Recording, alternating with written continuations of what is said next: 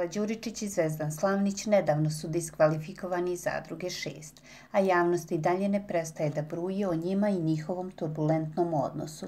Bivši zadrugar i Anđelin prijatelj Fran Puja sinoć se pojavio na jednom događaju i tom prilikom otkrio da je prekinuo svaki kontakt sa Đuričićevo.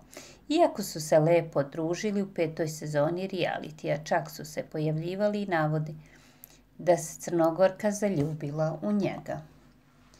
Nismo ni u kakvim odnosima. To što su oni sad u šestoj sezoni pričali da je bila zaljubljena u mene u petoj, to mene ne zanima. Ja to nisam video, a ne zanimaju me te stvari. Bili smo prijatelji tamo i to je to, rekao je Fran. Da li te ona otpratila sa Instagrama, glasilo je pitanje.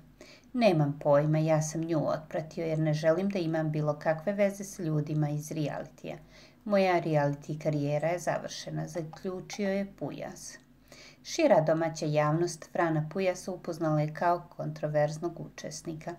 Zadruge četiri, a u reality je ušao sa tadašnjom devojkom Paulom Hubli. Ona je nedavno objavila da se verila za Filipa Đukića, voditelja i također bivše zadrugara. Kako je Fran podneo te vesti, saznajte.